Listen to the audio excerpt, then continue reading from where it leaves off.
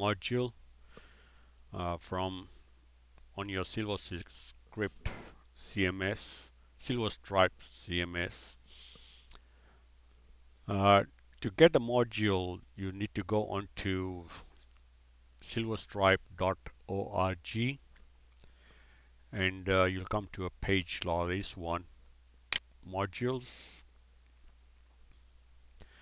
uh, you have all different type of mod for demonstration purposes I'm going to install a user form module that uh, is used to create forms on your website or a page with your forms on there.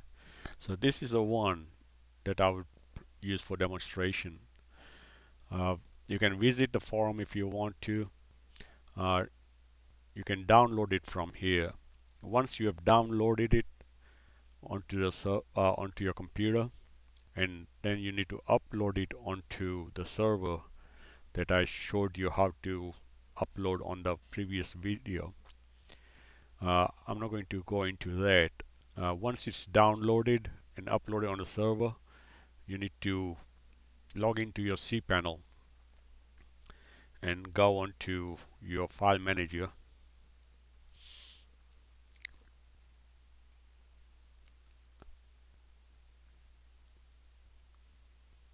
I have my one installed in a folder uh, because I have my main website on my domain name. Uh, it depends on how you have installed it. If you installed it on your root then you would have won't have the folder. It would be in the root. Open the folder. And this is the website folders that came with the website uh, this is the one that I just uploaded the user forms. So click on it and then extract content.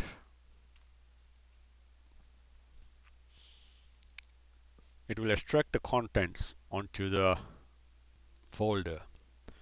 Uh, once it's extracted you can close this one and uh, refresh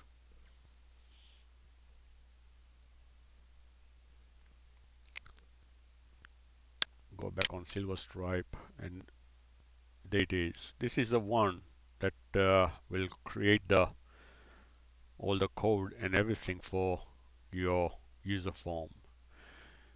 Uh, we need to change this name because uh, by default all you need is a name.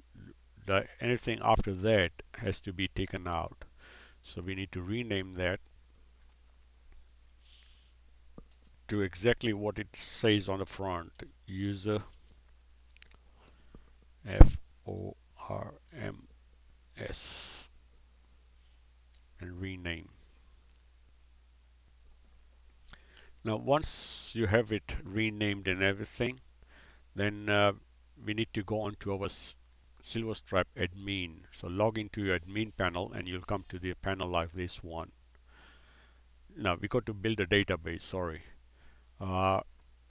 to do that uh, to build a database you need to type in your address bar your domain name